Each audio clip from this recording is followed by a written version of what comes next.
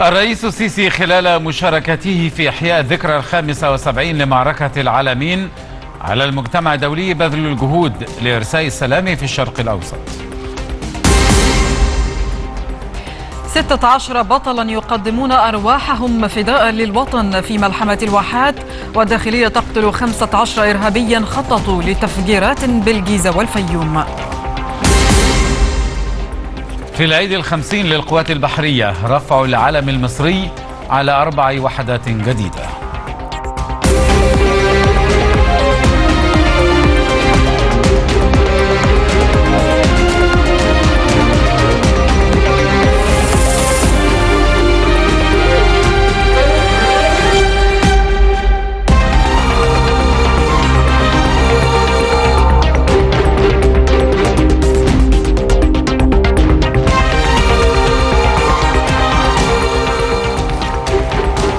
حصاد إخباري جديد يأتيكم من أون لايف أهلا بكم. أهلا بحضراتكم مشاهدينا الكرام إلى أهم ملفات الليلة. قال الرئيس عبد الفتاح السيسي أن مدينة العالمين تشكل مزيجا جغرافيا وتاريخيا فريدا. استحق كل الاهتمام. وأوضح الرئيس خلال مشاركته في مراسم تأبين ضحايا معركة العالمين في ذكرى الخامسة والسبعين إنما تدفع الجميع لتجديد العهد على الحفاظ على السلام. كذلك بذل مزيد من الجهد لإرساء السلام خاصة في منطقة الشرق الأوسط التي تواجه أزمات خطيرة تهدد كيان الدولة الوطنية ذاتها. رغم كيد الكائدين ومخططاتهم تسير مصر واثقة الخطى في طريقها لمحاربة الإرهاب الغاشم الذي يسعى بكل ما يملك من أموال لضرب استقرار الدولة والنيل من عزيمة أبنائه. هذا من الأكيد. ففي هذه المناسبة أعرب الرئيس عبد الفتاح السيسي وجه رسالة مهمة لقادة العالم خاصة بضرورة إرساء السلام في الشرق الأوسط الذي يعاني أزمة عدة وعلى رأسها الإرهاب مما يهدد كيان الدولة ذاتها وأيضا مقدرات الشعوب إرساء السلام في العالم وتحقيقه في الشرق الأوسط. رسالة مهمة وجهها الرئيس عبد الفتاح السيسي لقادة العالم خاصة في منطقة الشرق الأوسط التي تعاني من أزمات عدة وعلى رأسها الإرهاب مما يهدد كيان الدولة ذاتها وأيضا مقدرات الشعوب. فإن مواصلة العمل على إرساء السلام يجب أن يكون هدفا ساميا يتعين على المجتمع الدولي بذل كافة الجهود لتحقيقه وخاصة في منطقة الشرق الأوسط التي تواجه أزمات خطيرة تهدد كيان الدولة الوطنية ذاته بما يحمله ذلك من مخاطر غير مسبوقة على أمن وسلامة ومقدرات شعوب المنطقة. وعلى الرغم من المخاطر التي تحيط بشعوب الشرق الأوسط إلا أن هناك طريقا آخر هو هزيمة آلام الماضي والمضي قدما نحو بناء مستقبل باهر. إن الشعب المصري يخوض بكل كبرياء وشرف معركتين مهمتين. الأولى ضد الإرهاب يقف فيها بمفرده دفاعا عن دولته وعن العالم بأسره. والثانية للتنمية. لتعطي شعب مصر العظيم الأمل في الغد الأفضل. الذي يبنيه أبناء هذا الشعب بإصرارهم وعزيمتهم واختيارهم للسلام والتنمية طريقا واثقا نحو المستقبل. إن المصريين ينطلقون نحو المستقبل وفق رؤية وطنية خالصة رغم كل الصعاب والتحديات من خلال تحديد الأهداف والأولويات واستخدام آليات وأدوات مدروسة ومنظمة. إن أبناء الشعب المصري دائما ما يعطون الأمل للعالم كله بإصرارهم وعزيمتهم واختيارهم للسلام والتنمية طريقا نحو المستقبل وهزيمتهم لكل قوى الظلام التي تسعى إلى هزيمة إرادة المصريين فداعمي الإرهاب يسعون للنيل من تلك الإرادة وتحطيمها للوصول إلى هدفهم في تفكيك الدولة المصرية. ولكنهم لن يصلوا لهدفهم بوجود رجال بواسل يحمون الأرض والعرض بدمائهم.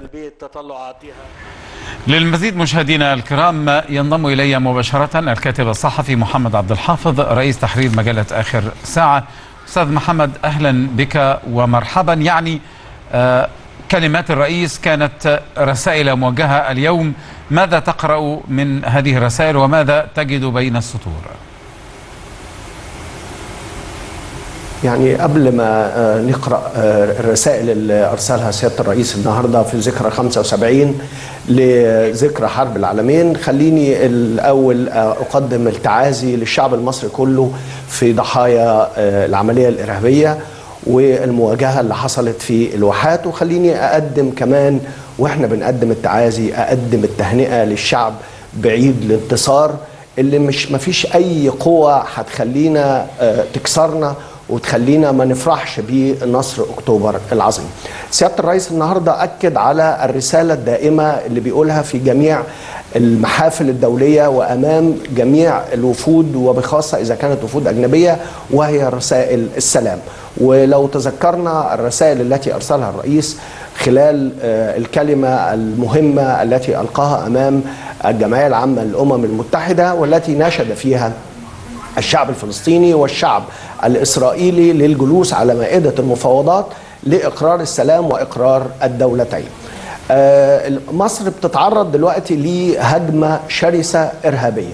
وخليني أقول إن ال- ال- العملية اللي حصلت في الواحات لم تكن عملية آه، استهدف فيها الإرهابيين ال- القوا- قوات الشرطة. لكن دي كانت ضربة استباقية من ال- رجال الشرطة البواسل اللي راحوا في عقر دار الإرهابيين عشان يضربوهم قبل ما ينزلوا وينفذوا مخططات ضد المدنيين وضد المنشآت المدنية التي تخدم الشعب المصري.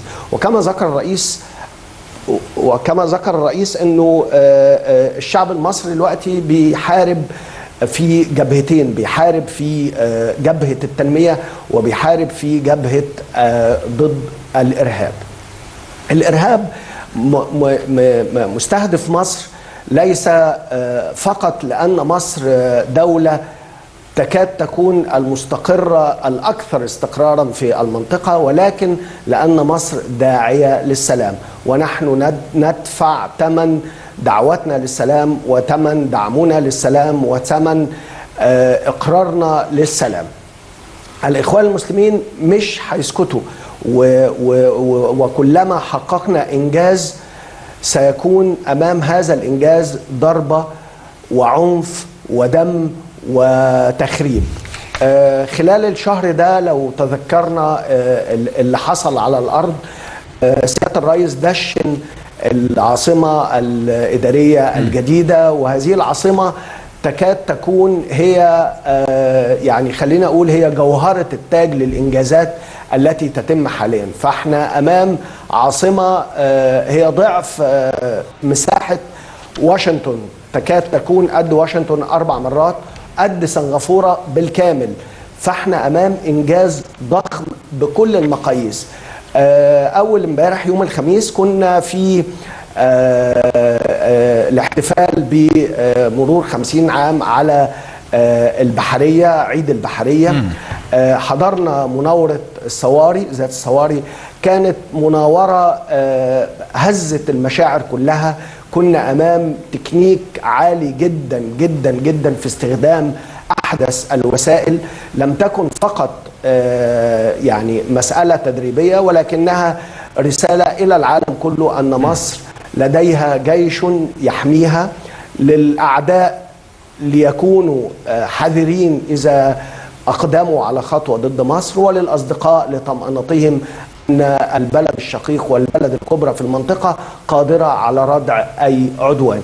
فأمام كل ذلك لازم لازم نتوقع إنه هيكون قوى الظلام ضد مصر وضد الإنجاز وضد التنمية لأنهم لا يريدون لمصر أن تتقدم خطوة واحدة. فما بالك بالقفزات التي تقوم بها مصر حاليا؟ ولن نتوقف.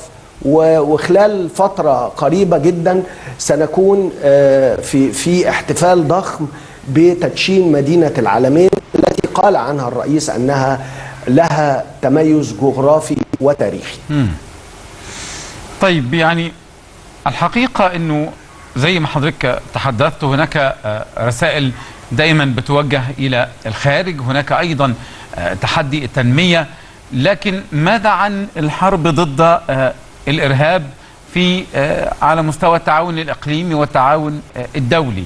الإرهاب لا يفرق بين أحد ولا يفرق بين شيء لكن على الجميع أن يتحد. الرئيس ترامب من ضمن ما قال أنه سيمضي في محاربة آه، الإرهاب في آه، ال- المنطقة وسيدعم مصر في في ذلك. يعني آه، دعنا نتح أو يعني يعني بالأحرى المتحدثة آه، ال- التي تحدثت اليوم. آه، دعنا نتحدث عن فكرة هذا النوع من الجهد الدولي المشترك من أجل التصدي للإرهاب. الإرهاب الدولي آه، مسألة الإرهاب لا دين له ولا وطن له. فلما تكون مصر آه، بال- بالاشتراك مع آه، دول الخليج يعني يعني قامت بالتنسيق فيما بينهم لمقاومة دولة داعمة للإرهاب آه، تدعى قطر. لما يبقى في دولة زي قطر وفي تضامن عربي قام بمقاطعة أنا متصور كانت الأمم المتحدة تاخد إجراء وخصوصا الأمم المتحدة أمامها شكوى آه، متعلقة بحقوق الإنسان. آه، في آه، في قبيلة اسمها الغفران موجودة في قطر ومتقدمة بشكوى رسمي إلى الأمم المتحدة. الأمم المتحدة لم تتحرك. أمريكا الولايات المتحدة لم تتخذ أي إجراء ضد قطر. يعني أنا مش عارف ال- الكيل بمكيالين إلى الآن. يعني نحن نسمع كلام آه، من ترامب آه، كلام آه، جيد. لكن على أرض الواقع ما فيش أي إجراء بيتاخد. هل علشان ال- ال- الصفقة صفقة الأسلحة اللي عملها ترامب خلال جولة ال- الخليج وشراء أسلحة لا أعتقد أن الجيش القطري يستطيع أن يستخدمها. لكنها صفقة لتمويل شركات السلاح الأمريكية.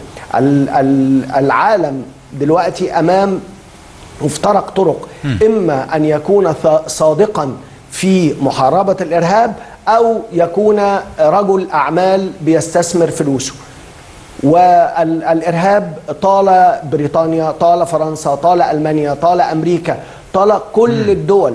حتى آخر حادثة حصلت في آه، الولايات المتحدة.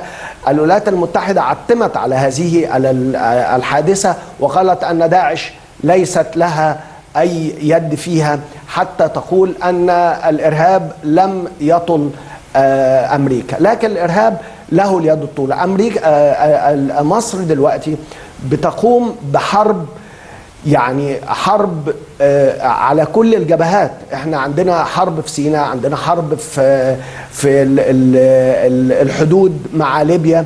دلوقتي بعد ما مصر كان لها الذراع الطولة في آه، ال- المصالحة الفلسطينية الفلسطينية وبداية خطوة للمفاوضات الإسرائيلية ال- الفلسطينية. وما حدث في آه، سوريا. كل هذه آه، آه، يعني خطوات جادة قامت بها مصر لتثبت أن كما قال الرئيس أكثر من مرة أن سياستنا سياسة شريفة. وهذه هي رد الفعل الطبيعي للسياسة الشريفة التي تقوم بها مصر. نقوم ب يعني نفعل ما نقول. نقول سلام فنفعل ما يؤدي إلى السلام. ولسنا كبعض الدول التي ترفع شعار السلام كلمات ولكن آه، تقوم بعمليات تخريبية أو تدعم الإرهاب. ويعني أعتقد إنه آن الأوان آن الأوان للدول جميعا أن تقف موقف جماعي ضد الدول التي تمول الإرهاب. وإذا وقفت الدول ال- جميعا إذا آه، أمام أمام ذلك أعتقد أنه تجفيف منابع تمويل الإرهاب هي أول خطوة للقضاء على الإرهاب. يعني يمكن حضرتك أيضا تلمست نقطة آه، مهمة عن ال- الملفات الساخنة الموجودة في منطقة الشرق آه، الأوسط. آه، ربما هذا ال- ال- التخريب وهذا الظلم وما يسمى بالشرق الأوسط الجديد والتدخلات ال- الخارجية آه، ربما تكون سببا مهما في آه، دعم الإرهاب وزيادة آه، وتيرة الإرهاب وليس كما يظن البعض انه حصر الإرهاب في منطقة وبالتالي محاولات القضاء عليه. ماذا عن قضايا الشعوب القضايا العادلة آه، عن سوريا عن العراق عن فلسطين عن كثير من الشعوب المظلومة والمنكوبة بسبب يعني بأسباب عدة. يعني خليني نقول حاجة مهمة جدا. إن مصر كانت عصية على ما يسمى بمشروع الشرق الأوسط الجديد. يعني إن كانت هذا المشروع نجح في بعض الدول لكنه لم ينجح في مصر. والفضل في ذلك يرجع إلى تركيبة الشعب المصري ويرجع أيضا إلى جيش مصر القوي. في 25 يناير كان الشعب في ظهر الشعب. الجيش كان في ظهر الشعب. وفي 30 يونيو الشعب الجيش كان أمام الشعب ليتصدى ويأخذ رصاصات الغدر من قوات الاحتلال الإخواني ليحمي الشعب. فإذا نحن أمام جيش جيش وطني وليس جيش عقائدي ولو نظرنا للخريطة اللي في المنطقة كل الدول اللي سقطت وكل الدول اللي نجح فيها مشروع الشرق الأوسط الجديد أو الفوضى الخلاقة لم يكن لديها جيش يحميها. وإن كان لديها جيش فهذا الجيش كان جيشا عقائديا وليس جيشا وطنيا. مثلما يوجد في مصر فاحنا دلوقتي اللي مستهدف الشعب لكن اللي مستهدف في الأساس للعمليات الإرهابية هو الجيش المصري والشرطة المصرية. وإن كان يعني المطلوب دلوقتي إن كل دول العالم تقف ضد الإرهاب فإن الشعب المصري جميعا أصبح جنود ضد الإرهاب. كل بيت دلوقتي بقى فيه شهيد من الإرهاب. كل بيت دلوقتي أصبح يعني يلعن الإرهاب. كل بيت في مصر دلوقتي أستاذ محمد أصبح جنديا في إنه يعني حتى من ليس بيته فيه شهيد لكن كلنا تألمنا نفس الألم. يعني الشهداء كلهم أبنائنا كلهم أبنائنا وإخواتنا يعني كلنا طبعا. كلنا في نفس الألم. يعني نتلمس منذ الأمس. هذا الألم يعتصر الجميع. هناك حالة أعتقد لا يمكن أن يختلف حولها. لكن أيضا شعوب المنطقة تظل القضايا العادلة لحق الشعوب في الحياة وهذا هو يعني المستقبل في الدفاع عن الحقوق العادلة للإنسانية. شكرا جزيلا لوجودك معنا محمد عبد الحافظ رئيس تحرير مجلة آخر ساعة. مشاهدينا الكرام هذا الحصاد ما يزال فيه المزيد. وفي بعد الفاصل. 16 بطلا يقدمون أرواحهم فداء للوطن في ملحمة الواحات.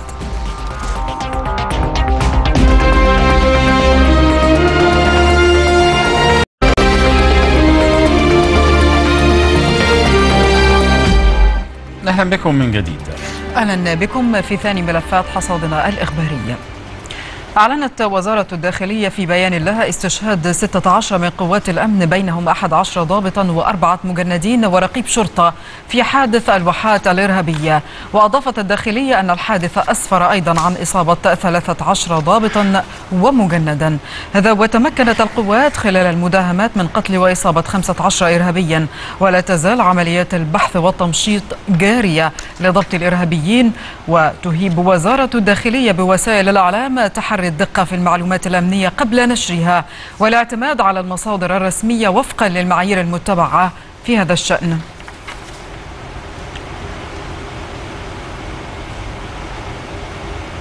ولمزيد من التفاصيل مشاهدينا الكرام عن هذا الحادث الأخير أو المواجهة التي تمت في في هذا اليوم معنا عبر الهاتف الآن الكاتب الصحفي جمال حسين رئيس تحرير جريدة الأخبار المسائية. نرحب بك أستاذ جمال. يعني الآن نريد أن نتحدث عن مقولة قد قيلت في السابق وهي العدو أمامكم والبحر من خلفكم ولكن الآن نريد أن يعني نعطي بعض التعديلات على هذه المقولة وهي أن نقول الإرهاب أمامكم والبحر من خلفكم.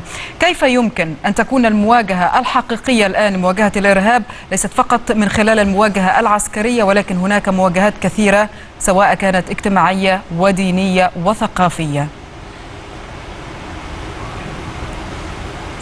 بالتأكيد آه، في البداية خليني أعزي أسر شه- الشهداء الذين جادوا بدمائهم وأرواحهم من أجل أن نحيا وأن ينجل أن يحيا الوطن. آه، في الحقيقة هذه المقولة حقيقية. المواجهة ليست مواجهة عسكرية وشرطية الآن بقدر ما هي مواجهة مجتمع. نحن في حالة حرب ويجب على الجميع أن يتكاتف في هذه الحرب. حرب شرسة ضد الإرهاب. حرب مدعومة دوليا ومن أجهزة استخباراتية ومن منظمات إرهابية دولية مجهزة بأحدث الأسلحة. هذه الحرب يجب أن يتكاتف الجميع للوقوف صفا واحدا أن يكون الجيش والشعب وال- والشرطة يدا واحدة لمواجهة هذا الإرهاب الغاشم الذي يحاول أن يطفئ سعادتنا بالمشروعات التي تشاهدها تشهدها البلاد وبحالة الانتفاضة الموجودة في هذه البلد حاليا. هذه الحرب يجب أن تكون بداية من أن يكو- أن يكون هناك التلميذ في المدرسة وال- والإمام في المسجد والقس في كنيسته وال- والمجتمع بالكامله يكون في يكون في حالة آه، استنهاض الهمم لمواجهة الإرهاب. هذا الإرهاب الغاشم الذي يحاول أن يقوض مصر كما قوض العديد من الدول التي نراها حاليا على الساحة العربية وقد انتهت تماما من على الوجود. لكن الحمد لله أن الله حمى مصر لكن يجب أن تكون هناك انتفاضة نعم. شعبية وانتفاضة بكافة مست- مستويات الدولة لمواجهة هذا الإرهاب ولن تكون المواجهة نعم. عسكرية يعني نستطيع القول بأن أصبح. الشعب المصري. بأكمله جنود ليس فقط في أرض المعركة آه، حيث يقوم رجال ال- الجيش ولكن الكل الآن أصبح جنود في أرض معركة الإرهاب آه، يعني آه، انطلاقا من النقطة التي تحدثت عنها الآن آه، أستاذ جمال وهي أن آه، هناك ثمة ارتباط فيما بين الإنجازات التي تتحقق على أرض الواقع الآن سواء كانت إنجازات سياسية وإنجازات أخرى اقتصادية وبين هذه العمليات الإرهابية أو إن صح التعبير مواجهات حقيقية مع هذه الخلايا الإرهابية. هل تتفق في هذا القول آه، بأن ما حدث هي مواجهة مع خلية إرهابية وذلك وفقا لبيان ال- الداخلية؟ بالتأكيد هي المواجهة مع خلية إرهابية ولكنها خلية إرهابية كبيرة. هذه الخلية امتداد للخلايا التي تم ال- الإجهاز عليها وتصفيتها في عدد من الأماكن في في مصر وخاصة في الحدود ال- الشرقية. نعم. آه، هذا الموقع الذي وقع فيه الحادث الإرهابي بالأمس قريب من الحدود الغربية وهي الخطر الح- الحقيقي والمكمن الحقيقي للخطورة حاليا بالنسبة لمصر بعد أن نجحت قوات الشرطة والجيش في تصفية عدد كبير من الخلايا الإرهابية في العريش وفي سيناء هناك خطر حقيقي يتهددنا حاليا في الجهة الغربية. نحن نعلم ما يدور في ليبيا حاليا. هناك كل أجهزة المخابرات وكل أجهزة التنظيمات الإرهابية الهاربة من سوريا ومن اليمن ومن عدد من الدول الخارجية التي حدثت بها مشاكل إرهابية هربت إلى وموجودة حاليا في ليبيا وهناك حرب حقيقية تدور في ليبيا لكن هذه ال- ال- التنظيمات الإرهابية وتنظيم داعش يعيش بشكل كبير جدا وهناك أسلحة حديثة جدا ومتطورة والأسلحة التي استخدمها الإرهابيون بالأمس أسلحة متطورة وأسلحة ثقيلة وأسلحة أر بي جي وأسلحة وأسلحة صاروخية. كل هذه الأسلحة آه، من أين أتت؟ لابد أنها أتت من خلال هذه من من من تسريبات ومن تهريبات عبر الحدود. إذا نحن أمام آه، حرب منظمة ومجموعات إرهابية وخلايا منظمة بشكل كبير جدا مدعومة بأسلحة كبيرة جدا ومدعومة بأموال متدفقة من الخارج حتى يتم هذه العمليات في مواجهة الجيش والشرطة. محاولة لإسكات صوت الحق وإسكات مصر و- وإظهارها أمام الع- أمام العالم بأنها في مشهد مرتبك بعد أن أصبحت مصر على على مستوى العالم كله مستقرة امنيا ومستقرة اقتصاديا وتسير في الطريق الصحيح نحو مجتمع نعم. عمراني كبير.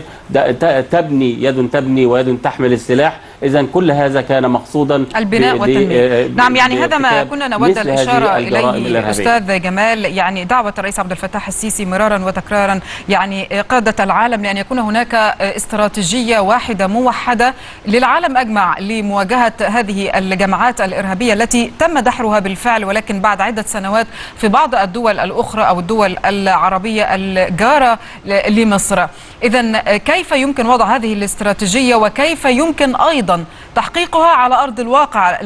يعني لا لا نريد أن نتحدث عن آه، أوراق آه، يعني عليها آه، يعني كلام مكتوب ولا يتم تنفيذه على أرض الواقع. الحقيقة عندما قال آه، الرئيس عبد الفتاح السيسي وحذر المجتمع الدولي من خطورة الإرهاب وخطورة الدول الداعمة للإرهاب الداعمة للإرهاب بالسلاح والداعمة للإرهاب عن طريق المنصات المنصات الإعلامية والأبواق الإعلامية.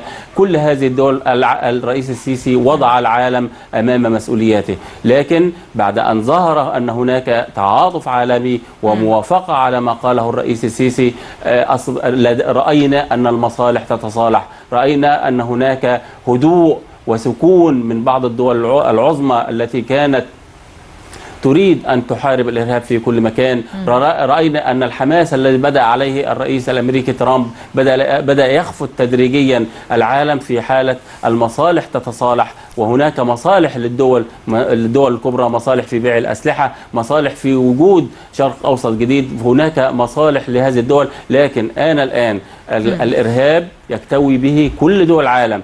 أمريكا اكتوت بنار الإرهاب وكل دول أوروبا لابد أن تكون استراتيجية واضحة. لابد من قطع قطع مصادر التمويل للإرهابيين في كل مكان. يجب أن يكون هناك قائمة سوداء للإرهابيين. يجب أن تكون هناك تعاون دولي لكل الإرهابيين وقطع مصادر التمويل حتى ينكشف الإرهابيون يعني وحتى هذا بالفعل ما قد كل هذه الدول يعني المجتمعة أن نعم ال- الرئيس الأمريكي دونالد ترامب تحدث بشكل واضح في آخر حديث له بأنه آه، لابد من مواجهة هذا الإرهاب الغاشم وتحدث عن الانتصارات التي حدثت أيضا في مدينة الرقة السورية وأنه سيكون هناك محاسبة لكل آه، من آه، له يد في هذه التنظيمات وتمويل هذه التنظيمات الإرهابية. ذكرت في معرض حديثك منذ قليل أستاذ جمال الحديث عن الإعلام ودور الإعلام. هناك لوم كبير الآن على بعض وسائل الإعلام التي لا تتحرى الدقة وقد أهبت بالفعل يعني وزارة الداخلية بأنه لابد أن تتحرى وسائل الإعلام بكافة أشكالها سواء كانت مقروءة أو مسموعة. آه، تحرى الدقة لأن هناك حرب نفسية الآن وهناك أيضا آه، يعني تكهنات كثيرة وتحقيقات غير واضحة وغير دق- دقيقة في الأرقام التي يتحدثون عنها في هذه المواجهات ال- آه، الاخيره الارهابيه. للأسف الشديد الإعلام آه، سقط سقطة بالأمس آه، وسار خلف الكتائب الإخوانية الإلكترونية وسار على نهجها وكأنها تقود ال- الإعلام آه، عدد كبير من الإعلاميين وعدد كبير وكانت هناك حفلة فيسبوكية آه، لهذا الحادث وكان هناك حالة سعار إعلامي لل- للسعي للحصول على أي معلومة وكان هناك سباق لإظهار عدد ال- ال- الشهداء وكأننا في مزاد البعض يقول خمسة والبعض يقول عشرة حتى وصل العدد إلى ما يقرب من سبعين شهيدا. كل هذا جعل الشارع المصري ينام كئيبا وينام مكتئبا ويحقق لل... لل... للإرهابيين ما يريدون ويحقق للمنظمات التي تدعمهم ما تريد ويحقق للدول التي تدعمهم ما يريد. وكأننا وأظهر مصر كأنها في حالة ضعف وفي حالة وهن وأن الإرهابيين انتصروا عليها دون أن يتطرق الإعلام للبطولة التي قام بها رجال الشرطة في الواحات وأن هؤلاء الرجال قاموا بإنقاذ البلاد وإنقاذ مصر من خطر كان يتهدد نعم. العاصمة والقاهرة الكبرى والجيزة.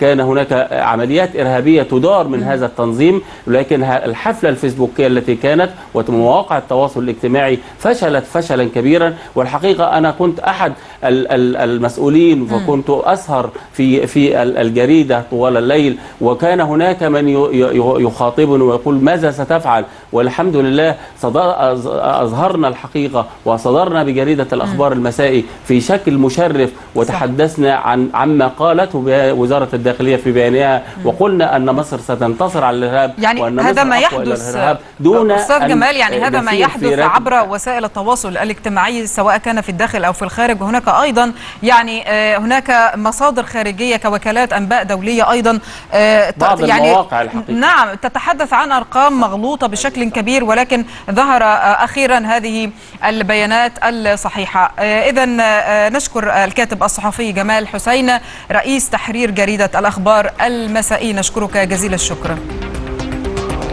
مشاهدينا الكرام الحصاد ما زال مستمرا. وفيه بعد هذا الفاصل. في عيدها الخمسين القوات البحرية تعزز قدراتها القتالية بأحدث الأسلحة.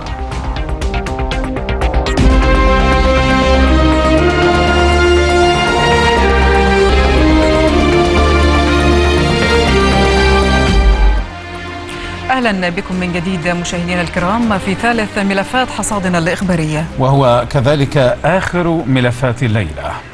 مراحل عدة للنهوض بسلاح البحرية المصرية. انتهت بوصوله إلى المرتبة السادسة على مستوى العالم والأولى عربيا وإفريقيا. بالطبع ومزيد من هذه التفاصيل مع الزميلة رغدة منير. إليك رغدة. شكرا محمد وشكرا لك لبنى واهلا بكم مشاهدينا. نستعرض معكم في هذا العرض مراحل تطوير سلاح البحرية المصرية خلال الأعوام القليلة الماضية لتحديث أسلحتها ورفع كفاءتها القتالية. من أبرز القطع البحرية التي انضمت للقوات المسلحة المصرية مؤخرا حاملتا المروحيات جمال عبد الناصر وأنور السادات من ترازي مسترال. وتعتبر مصر هي الدولة الوحيدة في المنطقة العربية والقارة الإفريقية التي تمتلك حاملة مروحيات. كما انضمت الفرقاطة الفاتح من تراز جويند وهي فرقاطة فرنسية الصنع لها القدرة على تدمير الغواصات واستخدام الصواريخ والمدفعية في المهمات القتالية وتنفيذ مهمة تأمين خطوط المواصلات البحرية. وانضمت مؤخرا الغواصتان الألمانيتان 42 اللتان تتميزان بقدراتهما الهجومية العالية وتمثلان قفزة نوعية في مجال التسليح البحري.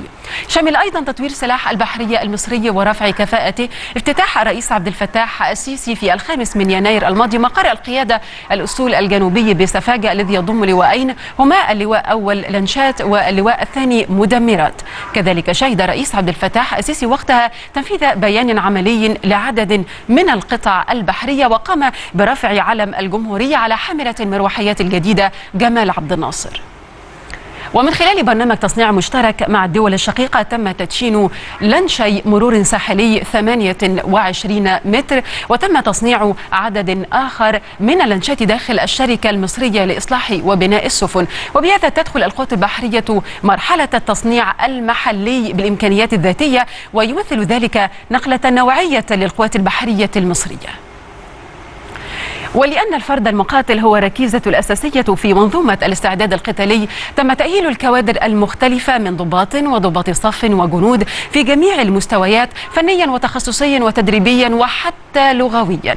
وتسعى القوات البحرية بالاستمرار في رفع كفاءة المقاتلين لديها ليكونوا قادرين على استيعاب التطور العالمي في مجال التسليح خاصة بعد انضمام عدد كبير من أحدث الوحدات العالمية. وذلك بالتوسع في استخدام أحدث أنظمة المحاكاة على مستوى العالم.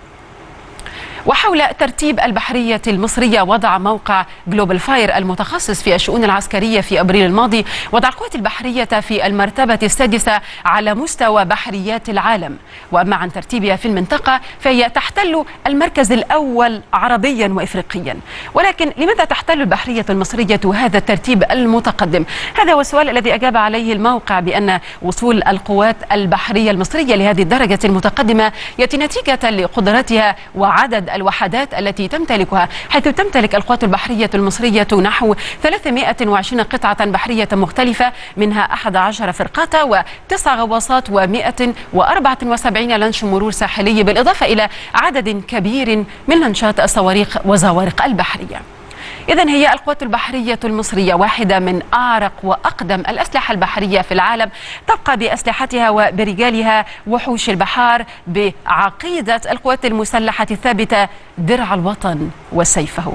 مرة أخرى عودة إلى محمد ولبنى شكرا لك يا رغدة على هذا العرض التفصيلي عن تطوير القوات البحرية. نشكرك جزيل الشكر. شكرا رغدة. إذا مشاهدينا الكرام لمزيد من التفاصيل وتسليط الضوء أكثر حول آه، العيد الخمسين للقوات البحرية المصرية. معنا مباشرة اللواء بحري أركان حرب متقاعد محسن حمدي أحد قادة القوات البحرية سابقا. أهلا بك آه، سيادة اللواء. أهلا وسهلا. سيادة اللواء آه، يعني ونحن نحتفل بعيد القوات البحرية آه، الخمسين. تاريخ آه، طويل وبطولات عدة خاصة في سنوات الحرب التي خاضتها مصر. كان هناك دور كبير للقوات البحرية. لكننا أيضا نتحدث عن ال- ال- المستقبل ونتحدث عن الحاضر. كيف تصنيف القوات البحرية آه، الآن آه، ال- ال- المعدات التي آه، تمتلكها وانضمت إلى الخدمة. ومن الطبيعي أن أسأل حضرتك عن أهمية القوات البحرية في الحروب الحديثة. هو طبعا الكلام ده حضرتك تم نشره وتصريح به من قادة القوات البحرية نعم. ومن السيد الوزير والقائد العام. وتم نشره في الإذاعة وفي التلفزيون وفي الصحف بشكل مستفاض إنما إحنا بمناسبة أكتوبر والبحرية أنا أحب أركز على موضوع مهم وهو فترة الإعداد لحرب أكتوبر لأن الناس في بعض الناس شافت الحرب أه لكن ما شافتش ما قبل الحرب. لأن أنا لما أجي أحارب العدو لازم أعرف مين هو العدو ده موجود فين إمكانياته إيه تسليحه إيه مين هيساعده مواقفه إيه وهكذا. فإحنا قبل 73 عشان في حاجة اسمها نحضر مسرح العمليات. يعني أنا حارب فين؟ في الحتة الفلانية في سينا وفي البحر الأحمر وفي البحر المتوسط. فبالنسبة للبحر الأحمر كان هناك تفكير في القوات البحرية أنها تحرم العدو اللي هو إسرائيل وقتئذ من وقود الحرب اللي هو البترول. في البحر المتوسط قامت بعض الوحدات البحرية بهذا الموضوع وعملت حصار على ميناء حيفا وأشدود. في البحر الأحمر فكرنا أن إحنا نمنع وصول البترول الواصل لإسرائيل من إيران بيوصلها عن طريق الخليج العربي بحر العرب باب المندب البحر الأحمر حتى شمالا ثم يدخل من مضيق طيران حتى إيلات. وقلنا نحرم العدو نضرب نقلات البترول اللي جاية عند منطقة باب مضيق طيران العبقرية البحرية المصرية فكرت أيضا ولكن طيران العدو إسرائيل قريب جدا من المنطقة ممكن يتدخل يحرمنا من هذا الموضوع. فهنا تفتقت البحرية والعقيدة البحرية العبقرية.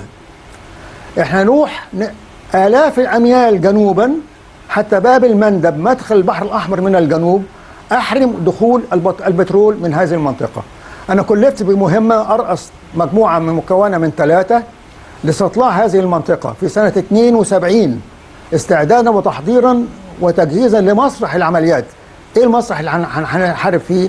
هبعت وحدات شكلها قد إيه حجمها قد إيه تسليحها إيه مهمتها إيه إيه الدول المجاورة لهذه المنطقة. سافرنا في 72 قعدنا 15 يوم. استطلعنا جريدة بريم ومضيق باب المندب اتساعه فترة الملاحة مين مطل عليه؟ جيبوتي الصومال أثيوبيا واليمن الجنوبي. وانتهت المهمة بنجاح قدمنا تقريرنا. في 73 أرادت القوات البحرية أن تحدد أكثر معلومات أكثر عن هذه المنطقة. لأن لدينا معلومات في إدارة المخابرات الحربية فرع المعلومات أن إسرائيل لها بعض التسهيلات عند أثيوبيا مراكب الصيد بتصطاد في المياه الأثيوبية.